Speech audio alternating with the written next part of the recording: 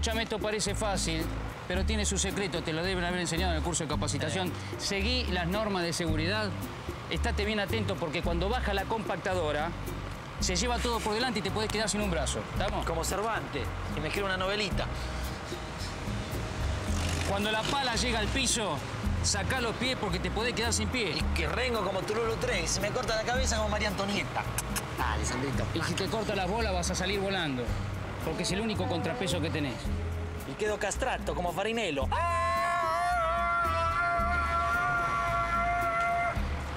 Bueno, lo apreté y tuvo que aflojar, así que anda preparando el estómago. Hay que poner fecha nada más. No, Betty, no, no, para un poquito. No, no, no, no, no. Aflojá con eso, olvídate la cena. ¿Por qué tenemos que ir a comer? No. Porque las deudas de juego se pagan, querido. Porque sí. Pero estas no, olvídate de ir a cenar con Guevara. Somos dos tipos conocidos, no podemos ir a comer con Guevara, ¿viste? Es un tipo, es un descontrolado, un papelonero, ¿viste? Es un sacado, ¿no? Bueno, bueno, tampoco es para tanto, che. No, que no es para tanto. Escuchamos, cuando nos fuimos a apretar a Álvarez, vamos a ver cómo se puso, se puso loco. Para, para, no, ¿qué no, a mí no me gusta. Álvarez. ¿Álvarez quién? ¿El del frigorífico lo fueron a apretar? Bueno, bueno, sí, pero, pero déjame que te explique. Lo que pasa es que, que era para darle una mano así. o sea. Pero vos sos tarado, Mario. ¿Pero en qué cabeza cabe ir a patotear al gerente de personal del frigorífico? Bueno, afloja, no te pongas así. ¿Pero cómo querés que me ponga, viejo? En lugar de ayudar, lo único que hacen es encarajinar más las cosas. ¿Vos sabés el pasto que le dieron ahora a Pedro Grande? Bueno, bueno, pará, yo no tuve la culpa. Lo que pasa es que Guevara se sacó y yo me descontrolé también. ¿Ah, sí? ¿Y a vos qué te pasa? ¿Qué, te estás contagiando de ese energúmeno? ¿O en el fondo los boxeadores son todos iguales? Por favor.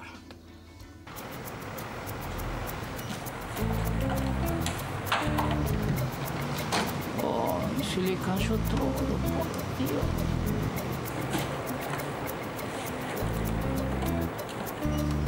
Con la mano, no, con la mano, no. Ay, este pibe no da pie con bola, por favor, no pega uno.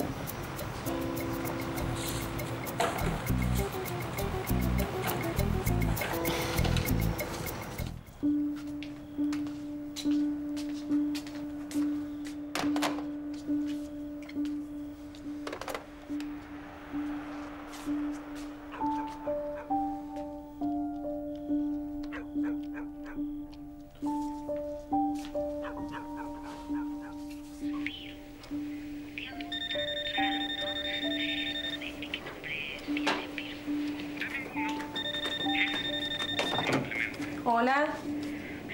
Ah, Valentina, eras vos. ¿Cómo estás? Estoy. ¿Vos cómo estás? Yo... Mal. Mal, todo mal, loca. No entiendo. Que así no va. Estuve pensando y... Y no da que nos peleemos tanto. Yo no empecé, Valentín. No, yo tampoco empecé. Tu viejo empezó, pero... Pero no puede... No puede contra nosotros, Camila.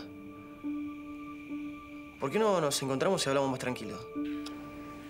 Porque no tengo ganas. Porque nos vamos a pelear y porque vamos a discutir como siempre. ¿Por qué discutir? Vamos a hablar como antes de que se armara todo este quilombo.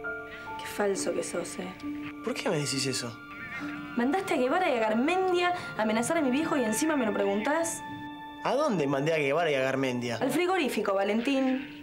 Te juro que no sé nada, Camila. Fueron y lo patotearon a, a Álvarez. ¿A Álvarez? Mirá, si fueron... Fueron ellos solo por su cuenta. Yo no tengo nada que ver en todo esto. Vos nunca tenés nada que ver. Está bien, Valentín. Mira, no tengo ganas de seguir hablando, ¿sabes? Pará, pará, pará, pará, Camila, pará. No me cortes. Estamos juntos, nos queremos. ¿Ah, sí? Mira vos. ¿Y ¿Me tenés que tratar así delante de Facundo? Mira, Valentín, estás enfermo. No quiero seguir hablando. Chao. Enfermo un carajo. Tu viejo está enfermo. Ay, basta, Valentín. Cortala con eso. Para vos todo el mundo está loco, está enfermo, está todo mal menos vos. Me aburriste, Valentín. Chao. Pero Camila... Valentín, necesito pensar. Necesito estar sola, eh, aclarar esto que me pasa. Por favor, te pido que me disculpes, pero, pero me pasa esto. Chao.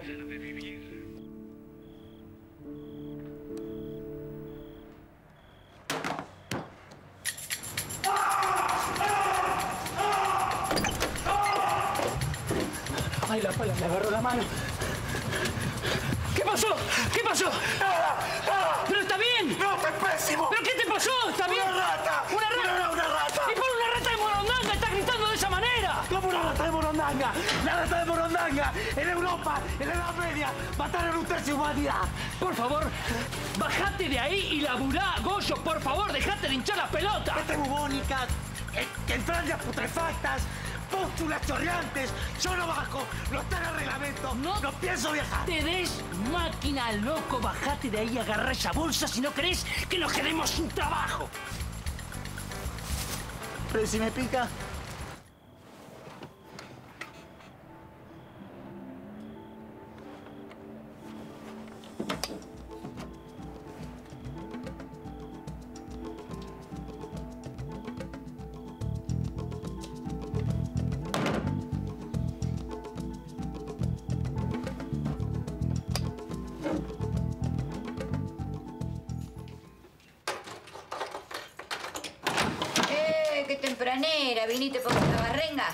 ¿Qué? No, de la seca, digo, como me falta depilarte la otra. Ah, no, no, pero déjame descansar un ratito. Dame un mate y me pongo a laburar que se me vencen unos plazos.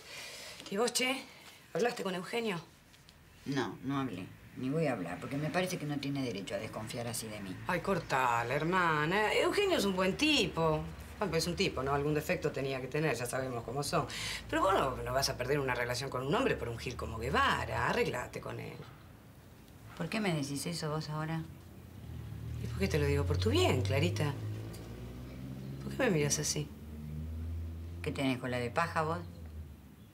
¿Qué decís, Clara? ¿Por qué voy a tener cola de paja yo? No, digo, porque enseguida organizaste la comida para ir con ellos dos y me dejaste a mí de lado. ¿Pero te volviste loca? Fuiste vos la que dijiste que no pensaba ir. Sí, pero vos bien que agarraste la volada enseguida, ¿o no? Mamá, mira, algo de lo que te estoy diciendo tengo razón. ¿Y querés que te diga una cosa? No lo voy a llamar, Eugenio, porque si Eugenio desconfía de mí, no tiene ningún motivo para desconfiar de mí. Y si vos estás desconfiando de mí, te estás pareciendo a él, ¿eh? Yo no dije nada, Clara. Mira, yo no estoy loca. ¿Y querés que te diga una cosa? Ay, ya. Me, me pongo nerviosa. Voy a aceptar, voy a aceptar ir a la comida. Porque las deudas de juego se pagan, ¿entendés? Bravo. Bravísimo. Mujer independiente decide su destino. Y decime, si se puede saber, ¿no? ¿Le vas a contar a Eugenio esta adulta decisión tuya de comer dos y dos? No sé. ¿Y por qué se lo tengo que decir? El fútbol